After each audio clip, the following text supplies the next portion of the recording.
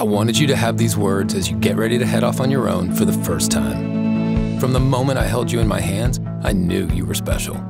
You were brought up surrounded by good, hardworking people who gave a damn. They tested you, built your character, filled you with wisdom and good taste. Be proud to carry our name out into the world. It's your time to show people what you're made of. Remember, true greatness can come from humble beginnings. So if you're open to it, there's no telling where you'll go.